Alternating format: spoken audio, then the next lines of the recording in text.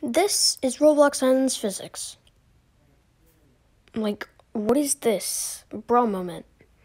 How am I just sticking to this wall? This makes absolutely no sense. Um, so yeah, if you go in first person, it doesn't it doesn't work. Um, yeah, so thank you guys for watching. This was a very short video, and goodbye.